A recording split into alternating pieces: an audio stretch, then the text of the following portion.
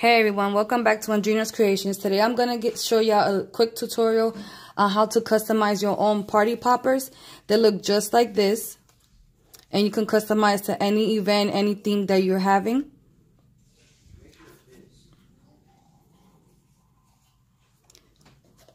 So they look just like this. So let's get started. My son's going to pop one actually.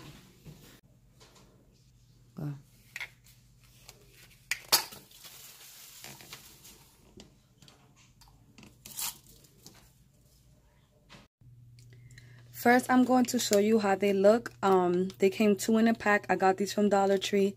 These were in the graduation aisle. I'm pretty sure they have any other themes. Um, they don't have the dimensions, but here is the um, SKU number if you want to look them up. That's the number. And like I said, it doesn't have dimensions on them. So pretty much how I always um, customize my stuff is I will measure them on the um, height and width and the top a circle and then I would use any software that I'm using. Again you can use your Cricut you can use um, this um, the silhouette you can use Microsoft Word Publisher Photoshop it doesn't matter what you use. So I am going to use Microsoft Word for this tutorial. That I always do is I go to file save as I am going to name my file. Poppers tutorial. And then where it says save as type scroll down where it says word document word 97 2003 document and then click on save. And now I am going to show you how to make your own template which you go to insert shapes click on the circle Make any size circle, it doesn't matter. Make sure your circle selected. Make sure you're on the format tab. Then on your right, it has the height and you're going to manually type 1.5 enter. And on your width, you're going to type 1.5 enter. Again, the measurements are 1.5, 1.5. That is the circle that's going to go on top of your poppers.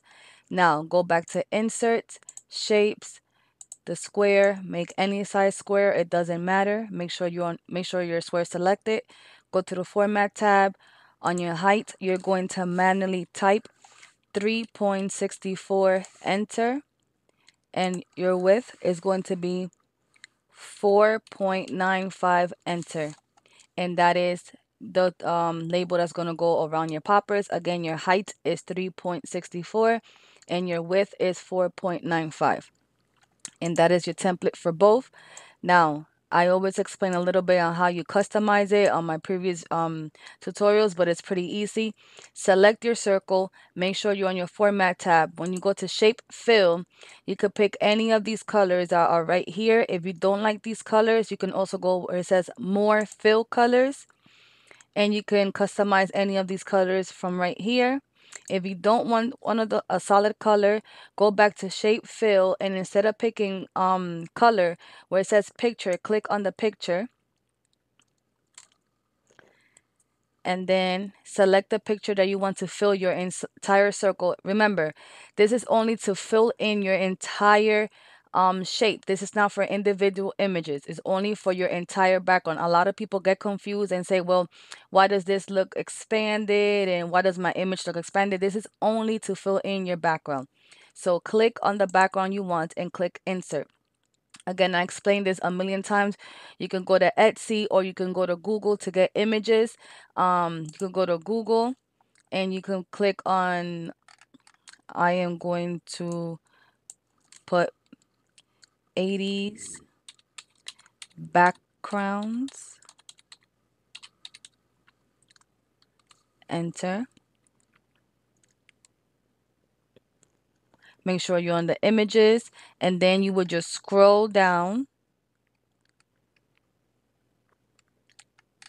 Well, when my computer loads.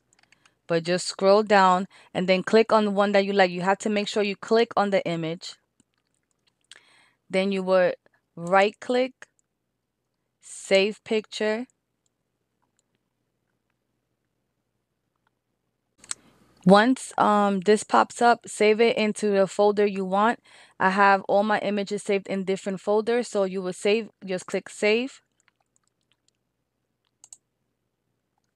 And now you go back to your Word document and then you follow the steps. You go to shape fill and fill it in. Now again, you will click on your rectangle. Make sure you're in the format tab. You go back to shape fill, go back to picture, and fill it in with the background that you would like and click on insert. Now you have a full background and now to add individual shapes is a little bit different or individual images. Right here, I on the circle on the top, I am going to add a little shape. So you go to insert, shapes, and click on any shapes that you would like that fits your theme. I'm going to click on this and just put it in the front.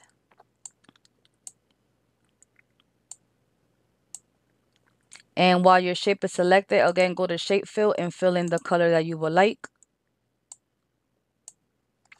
And I am going to zoom in a little bit.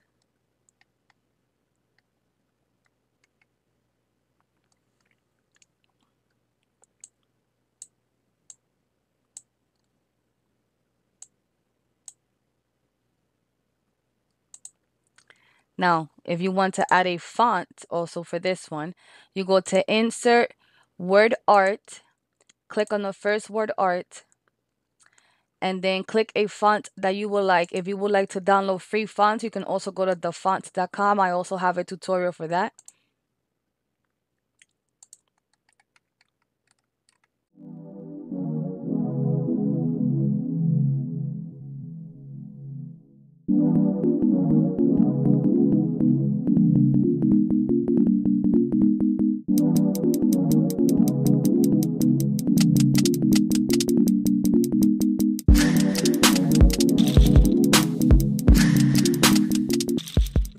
In everything that you wanted to say, click on OK.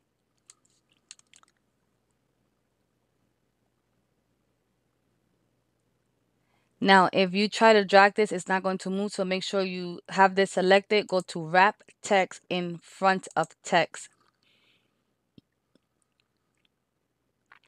Make, when you on the also make sure your font is selected, you will go to format and where it says shape fill, fill in the color that you would like for your font.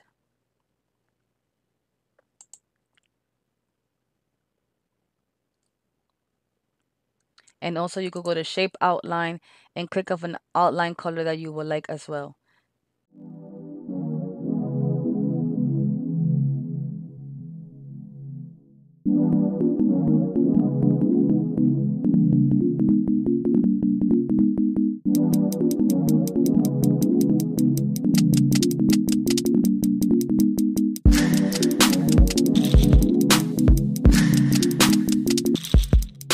Once you have that there, now we can add images to the um, label that wraps around. I'm going to add another shape. So go to insert, shapes. I'm going to click on the same shape that I had used on the lid. And I am going to make a shape right here. I'm going to go to format, shape fill, and add the color yellow. Go to shape outline, no outline.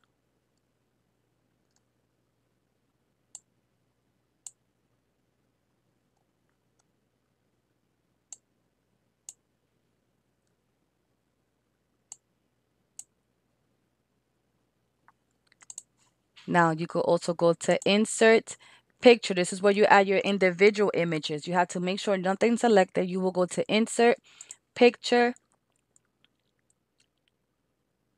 and then click on the image that you would like to add and then click on insert. Now your image is going to be behind your design, so you need to make sure it's selected. You will go to format, wrap text in front of text so your image could come to the front. Now you see that this image has a white background. I need to remove that white background. I also have a tutorial um, how to remove your backgrounds. So make sure your image is selected. Then you will go to the format tab. It says recolor and click on set transparent color. and then your background is removed. Now, make the image the size that you would like.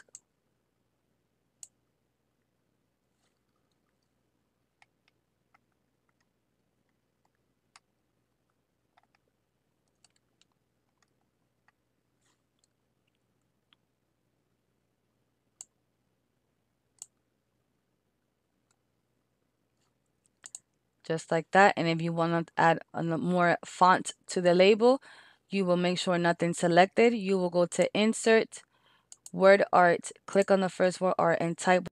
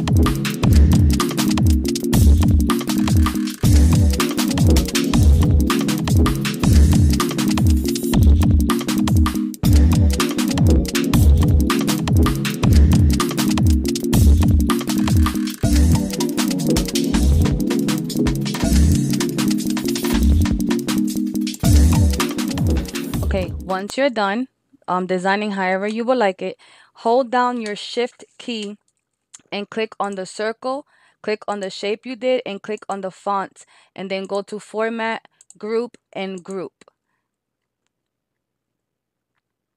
Once it's grouped, everything will move as one image. The same thing with the rectangle. Make sure you unselect the circle. Now press down your shift key, select the rectangle, select all the images you have inserted. Then you will go to Format, Group, and Group.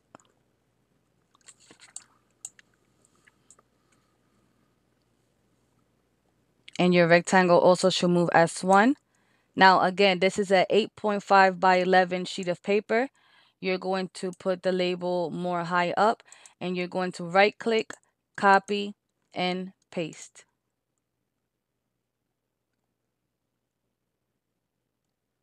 And now you put this right here in the bottom.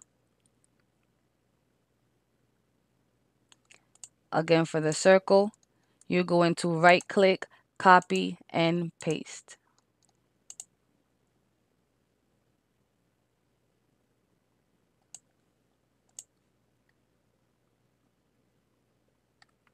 And you could fit two labels in one piece of um, paper. Now, you can easily, if you're printing at home, go ahead and print this. I am going to use sticker paper. I buy my sticker paper from Amazon. Make sure whatever sticker paper you are buying is compatible with your printer. My printer is an inkjet printer. I have an Epson 7710. Um, when I went to Amazon, I just searched inkjet sticker paper now, if you have a laser printer, make sure it's compatible with your laser printers. Another thing, if you don't have a printer at home and you would like to print this at another location or you are selling this to a customer, make sure that you save this as a PDF file, meaning that if another computer or um, your customer doesn't have the same software, whenever they open this image, it's going to stay exactly like this. Nothing's going to get distorted. The font is going to stay the same. The image is going to stay the same. Nothing's going to change. The measurements are going to stay the same. Nothing changes once you save it as a PDF file. And all you have to go do is go to File, Save As, And right here where it says save as type, you will scroll down and save it as a PDF file. Another thing, if you want to know everything's inside your page, there's a magnifying glass on top of here. You click on the magnifying glass and that's a print preview. So it's going to show you exactly how it's going to look once you print it. And if something's outside the page, once it goes to print preview, make sure you put everything inside of the page. So this is everything's inside of the page. So that's how it looks. I know everything's inside of the page. I know everything's not outside my print border. So I will go back to home. And that's all. So now I am going to print one out and I'm going to put it on the poppers for you guys.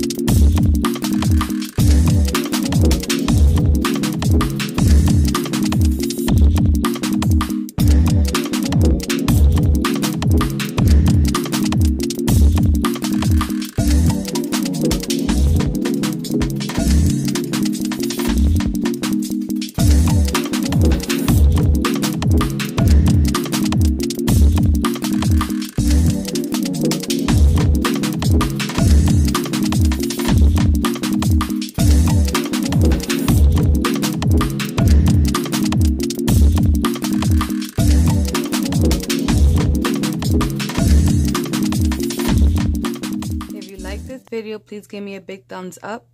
If you haven't subscribed yet, please go ahead and subscribe so you can be notified when I upload my next video. And again, thank you so much for all my new subscribers. I really appreciate all the new support. If you have any questions, please comment down below. And I will see you on my next video. Bye-bye, guys.